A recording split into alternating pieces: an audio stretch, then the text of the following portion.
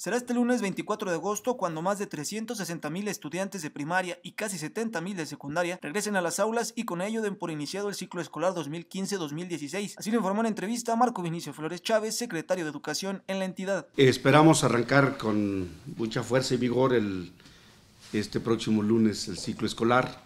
Habrá un evento formal, desde luego, en el que el señor gobernador estará presente.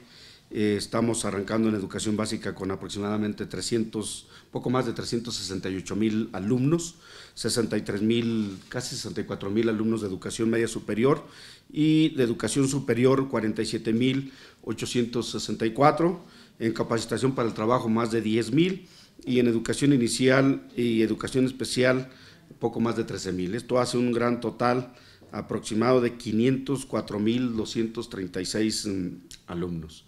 Es un número pues considerable que estamos atendiendo. También en todo esto hay poco más de 26.500 docentes que están eh, atendiendo a todo este grupo de alumnos.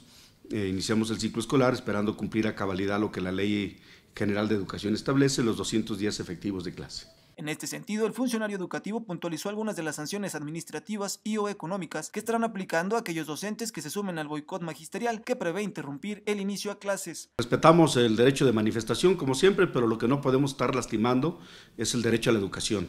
Eh, por encima de cualquier derecho de manifestación, están otros derechos, las de los niños, las de los jóvenes, y me parece que es fundamental este, atender este derecho que no solamente es un derecho constitucional, sino es un derecho universal que tienen los niños de recibir educación. Por lo tanto, nuestra sugerencia es mantenernos como, lo, como corresponde como educadores. La mejor forma de la defensa de la educación pública es trabajando, y es trabajando con calidad de educación, con calidez, para dar resultados que la sociedad espera, para preparar estas generaciones presentes y futuras a efecto de que tengamos una mejor forma de vida. Secretario, si nos puede recordar algunas sanciones a las cuales se pueden hacer acreedores estos docentes que participen en actos de protesta como este. Eh, pues puede ser desde descuentos, dependiendo del número de días que, que, falten, y puede ser también este, hasta actas de abandono si es más de tres días en, en un mes. Indistintamente si son o no consecutivos, procede el acta de abandono. Con imágenes de Marco Méndez para B15 Noticias, Juan Pablo Castro.